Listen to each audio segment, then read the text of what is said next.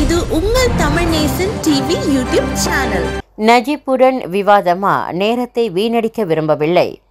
முன்னாள் பிரதமர் Dato Sri Najib துன்ராசாக்குடன் விவாதம் செய்து நேரத்தை வீணடிக்க தாம் விரும்பவில்லை என புக்கி ஜெலுத்தோங் நாடாளுமன்ற உறுப்பினர் ராம் கர்பால் சிங் கூறினார். காரணம் அவர் குற்றவாளி என நீதிமன்றங்களின் பெரும்பான்மையான தீர்ப்புகள் உறுதிப்படுத்தியுள்ளன. அதோடு மன்னிப்பு வாரியமும் அதனை மேற்கோள் காட்டியுள்ளது. எனவே அவருடன் விவாதம் நடத்துவது அர்த்தமற்றது. நேரத்தை வீணடிக்கும் செயல் என சட்டத்துறைக்கான முன்னாள் துணை அமைச்சருமான ராம்கர்பால் சிங் கூறினார். முன்னதாக நஜிப்பின் தண்டனை காலத்தை மன்னிப்பு வாரியம் குறைத்ததை தொடர்ந்து ராம் கர்பால் உட்பட பல தலைவர்கள் கேள்வி எழுப்பியிருந்தனர்.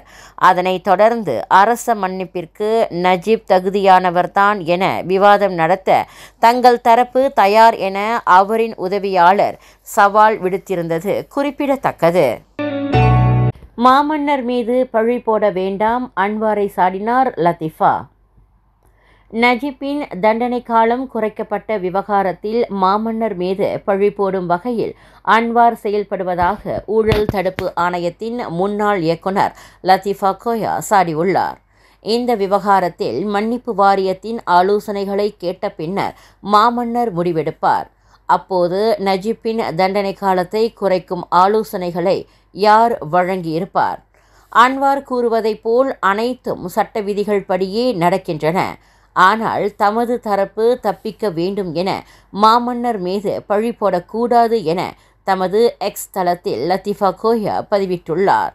சம்பந்தப்பட்ட வாரிய உறுப்பினர்களின் ஆலோசனையை கேட்க வேண்டிய கட்டாயத்தில் மாமன்னர் இருப்பதுதான் உண்மை. இதனை மூடி மறைத்து மக்கள் மத்தியில் நல்ல பெயர் வாங்க முயற்சிக்க வேண்டாம் எனவும் அவர் அறிவுறுத்தினார். தானியாவிடம் அறுபது கேள்விகள் மடிக்கணினி பறிமுதல். நஜிப்பின் தண்டனை காலத்தை குறைத்த மன்னிப்பு வாரியத்தின் முடிவை தொடர்ந்து சமூக வலைத்தளத்தில் கருத்து பதிவேற்றம் செய்திருந்த டிஏபி உறுப்பினர் டோனிபோவிடம் விசாரணை மேற்கொள்ளப்பட்டது. இன்று நண்பகல் ஒன்று பத்து மணியளவில் புக்கிட் அமானுக்கு சென்றிருந்த அவரிடம் ஒரு மணி நேரம் போலீசார் விசாரணை நடத்தியுள்ளனர். தம்மிடம் மொத்தமாக அறுபது கேள்விகள் கேட்கப்பட்டன. அதோடு விசாரணைக்காக தன்னுடைய மடிக்கணினியை பறிமுதல் செய்வதாக தெரிவிக்கப்பட்டது என விசாரணைக்கு பின்னர் செய்தியாளர்களிடம் பேசிய அவர் கூறினார். தம்முடைய முகநூலின் பெயர் மற்றும் கடவுச்சொல் அனைத்தும் போலீசாரிடம் தெரிவிக்கப்பட்டது.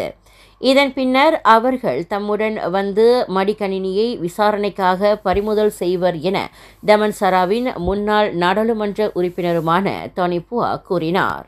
அவருடன் டிஏபி தலைவர் லிம்காங் எங் கிள்ளான் நாடாளுமன்ற உறுப்பினர் வி கணபதி ராவ் ஆகியோர் வந்திருந்தனர்.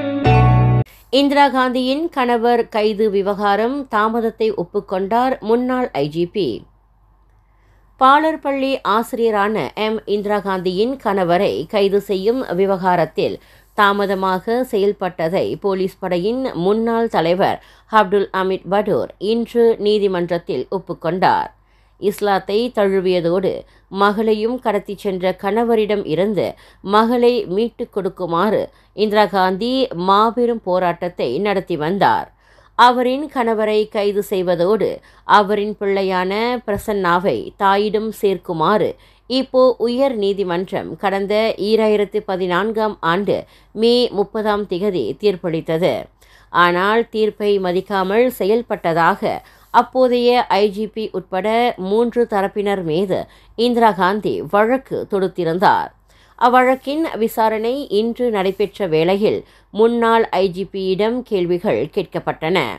முகமது ரிட்வான் அப்துல்லா எனும் அந்நபரை கைது செய்ய கூறி நீதிமன்றம் போலீஸ் துறைக்கு உத்தரவிட்டிருந்தது.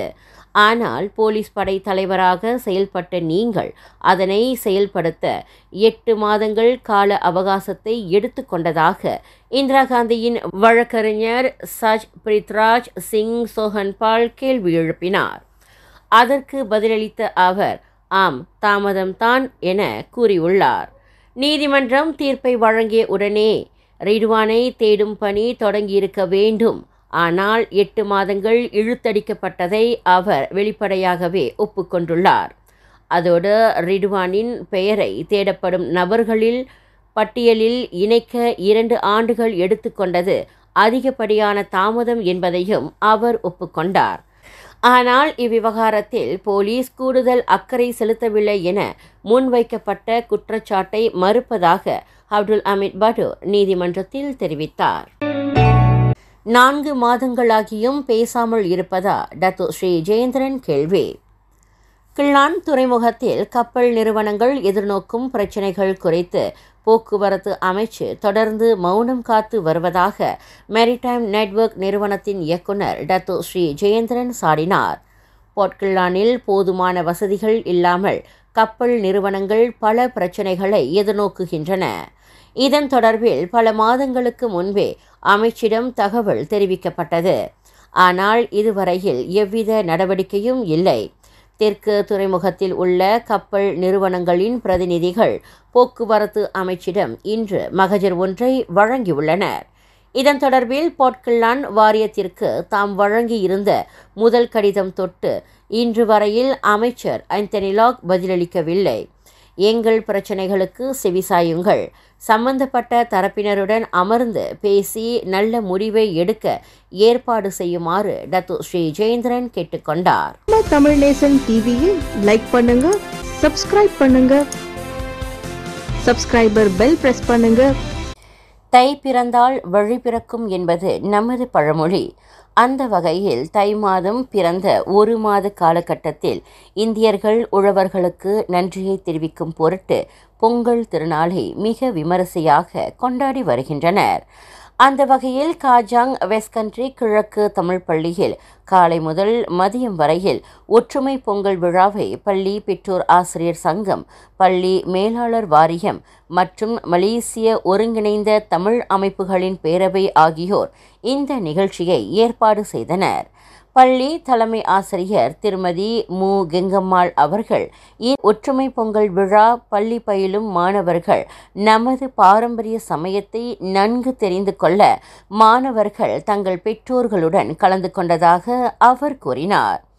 ஒரு தோட்டத்தில் முந்தைய காலகட்டத்தில் பொங்கலை எப்படி தோட்ட மக்கள் ஒன்றிணைந்து வைத்தது போல இந்த பள்ளியில் இருநூறு மாணவர்கள் ஒரு சேர தங்களது குடும்பத்துடன் பொங்கல் வைத்து கொண்டாடியதாக தலைமையாசிரியர் குறிப்பிட்டார்.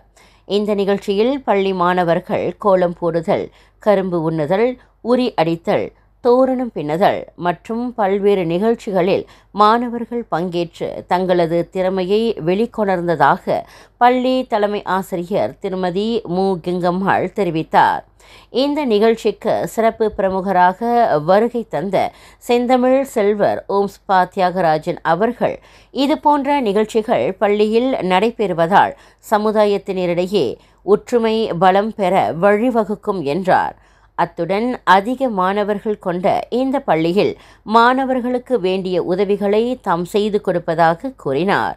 இந்நிகழ்ச்சியில் ஸ்லாங்கூர் மாநில துணை இயக்குனர் செங்குட்டுவன் காஜாங் டத்து கலை உட்பட முன்னூறுக்கும் மேற்பட்டோர் கலந்து சிறப்பித்தனர். எழுபத்து நான்கு வயதுடைய முதியவர் கடுமையாக தாக்கப்பட்டார். குடும்பத்தினர் போலீஸ் புகார். புச்சொங் புத்ரா பிரிமா பகுதியில் எழுபத்து நான்கு வயதுடைய இந்திய முதியவரை மனிதாபிமானம் இல்லாமல் கண்மூடித்தனமாக தாக்கிய ஆடவருக்கு எதிராக போலீஸ் புகார் செய்யப்பட்டுள்ளது. கடந்த ஜனவரி முப்பதாம் திகதி அந்த முதியவர் காரில் சென்று கொண்டிருந்த போது வளைவதற்கு சிக்னல் போடாத காரணத்தினால் பின்னால் இருந்த காரோட்டி நீண்ட நேரம் ஹார்ன் அடித்துள்ளார். இதனால் காரை விட்டு இறங்கி அந்நபரிடம் மன்னிப்பு கேட்கச் சென்ற அந்த முதியவரை சம்பந்தப்பட்ட ஆடவர் கன்னத்தில் அரைந்து மூர்க்கத்தனமாக தாக்கியுள்ளார். அங்கிருந்தவர்கள் தடுத்தும் அந்நபர் தொடர்ந்து தாக்கியுள்ளார். இதனால் கண்கள் மூக்கு வாய் பகுதிகளில் அவருக்கு பலத்த காயங்கள் ஏற்பட்டுள்ளன. அதோடு எலும்பு முறிவு ஏற்பட்டு அறுவை சிகிச்சை செய்ய வேண்டிய நிலை ஏற்பட்டுள்ளதாக முதியவரின் குடும்ப உறுப்பினர் சுரேஷ் கூறினார். கியூஏஏ ஒன்று மூன்று சுழியம் மூன்று என் என்ற எண் பட்டையை கொண்ட பிரடுவா அக்ஸியா ரக காரில் வந்த அந்த ஆடவர் மீது முதியவரின் குடும்பத்தினர் போலீஸ் புகார் செய்துள்ளனர். சாலைகளில் இது போன்ற அராஜக செயல்கள் ஒடுக்கப்பட வேண்டும்.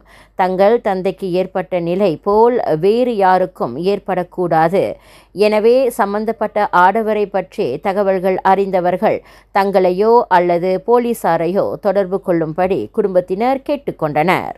இதற்கிடையில் சம்பந்தப்பட்ட ஆடவரின் புகைப்படம் பெயர் உள்ளிட்ட தகவல்கள் அடங்கிய பதிவுடன் முதியவருக்கு நியாயம் கிடைக்க வேண்டும் என்ற பிரச்சாரமும் முகநூல் பக்கம் மற்றும் இன்ஸ்டாகிராம் பக்கத்தில் பகிரப்பட்டு வருவது குறிப்பிடத்தக்கது.